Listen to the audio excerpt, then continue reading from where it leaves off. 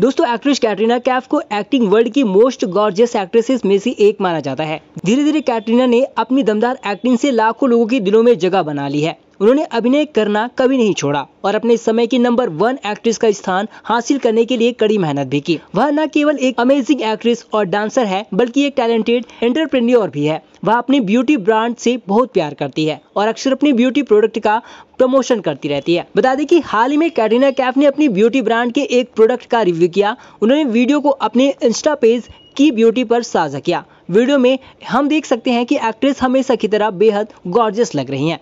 हालाँकि उनके कुछ फैंस ने कैटरीना के चेहरे में कुछ बदलाव देखा और उन्होंने तुरंत बताया कि एक्ट्रेस ने नोज़ सर्जरी करवाई है। इस पर नेटिजन्स ने पोस्ट के उनके कमेंट सेक्शन में बाढ़ ला दी। एक यूज़र ने लिखा, आपने अपने होठों और नाक के साथ क्या किया है और क्यों?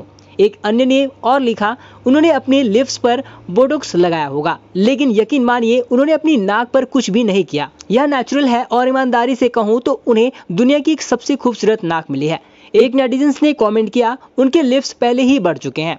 वही एक और अन्य यूज़र ने लिखा, अब सारी एक्ट्रेस एक जैसी दिखने लगी हैं। बॉलीवुड में सर्जरी का चलन कुछ साल पहले ही आया है।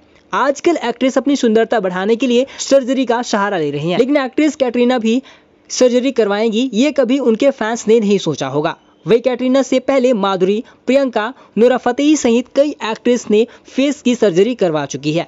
वेल, आपकी इस बारे में क्या राय है? आप हमें कमेंट करके ज़रूर बताएँ। साथ ही वीडियो को लाइक और चैनल को सब्सक्राइब करना ना भूलें। धन्यवाद।